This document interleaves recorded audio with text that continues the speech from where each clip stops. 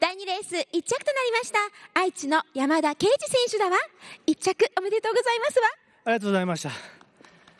西浦選手の番手いかがだったかしら？そうですね西浦君が強いのでもう後輪だけ見て走ろうと思ってました。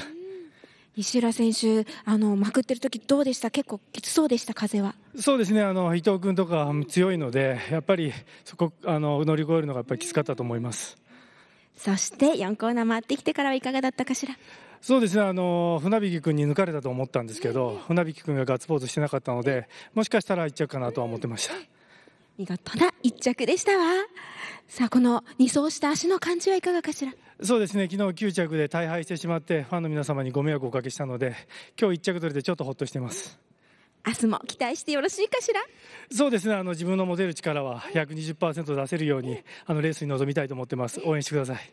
皆様よろしくお願いいたしますわ。拍手をお願いしますわ。私もイケメンに愛とうございますのでぜひ明日もお待ちしておりますわ。とんでもないです。ありがとうございます。それではですねなんとですね山田選手愛知の副支部長をされてまして愛知支部のちょっと告知をしていただきたいなと思いまして何かあるかしら？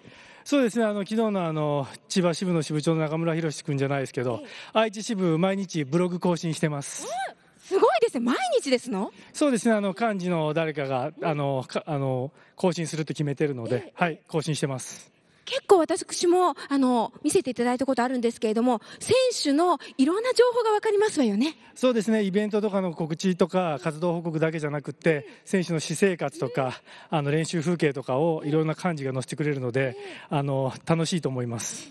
じゃあもうぜひ見ていただきたいですよね。そうですね。あの月曜日は僕が定期的に毎週更新してて金曜日はガールズの選手が順番に更新してくれてるのでぜひそれも楽しみに見ていただけたらありがたいと思ってますぜひ皆様愛知支部のブログご覧いただきたいと思いますわ。では明日もぜひお待ちしておりますわ。